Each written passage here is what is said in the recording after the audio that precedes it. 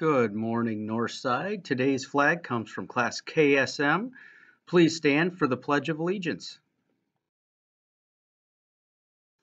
I pledge allegiance to the flag of the United States of America and to the republic for which it stands, one nation, under God, indivisible, with liberty and justice for all. Morning, Northside coming to you from my office today.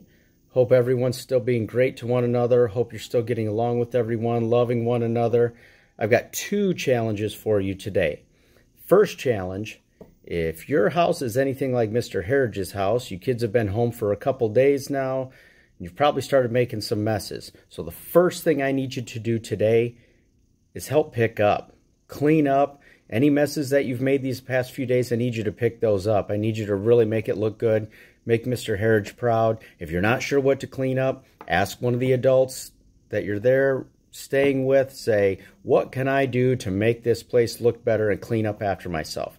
Second challenge today, I want you to draw some beautiful picture. You can use markers, crayons, paints, whatever you have, whatever the adults there say you can use. I want you to make a great picture, and I want you to give it to someone who you think is awesome.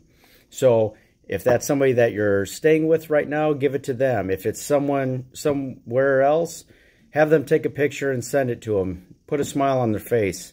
Have an awesome day, everyone. Be great to one another. And don't forget, Mr. Harridge loves you very, very much. Be great today.